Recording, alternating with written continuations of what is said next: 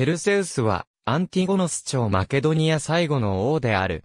陰王語では、マケドニアのペルセウスの呼び名が用いられることもある。信仰目覚ましかった共和制ローマと対立し、第三次マケドニア戦争を勃発させするも敗北。廃され、ここにアンティゴノス朝は滅亡した。紀元前179年、父ピリッポス5世が没するとペルセウスは王位についた。前年には、ペルセウスの残言で、王族内でのローマの擁護者であった弟、デメトリオスが処刑されている。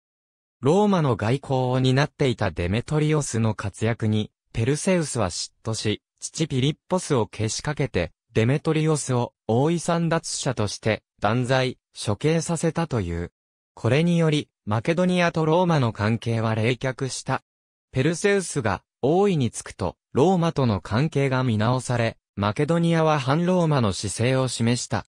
ペルセウスは、デルフォイを訪問する際に軍隊を率いて赴き、また、ローマの元老院から送られてくる外交担当者をないがしろにした。これらは、ローマにマケドニアとの関係の再興を促す結果となった。紀元前171年に第三次マケドニア戦争が勃発。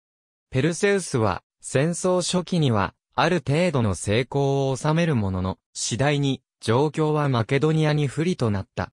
紀元前168年にピュドナの戦いで致命的な敗北を喫すると、ローマの司令官、ルキウスはエミリウス・パウルスの前に降伏した。